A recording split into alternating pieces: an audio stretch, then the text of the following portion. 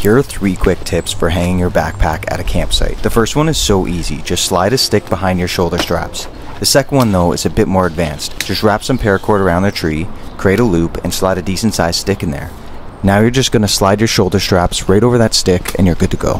This one is great for a longer term site because the first one is a little bit less secure. And lastly, if you're hanging something without straps, maybe it's a water bottle, just get a smaller stick and slide that through the top loop.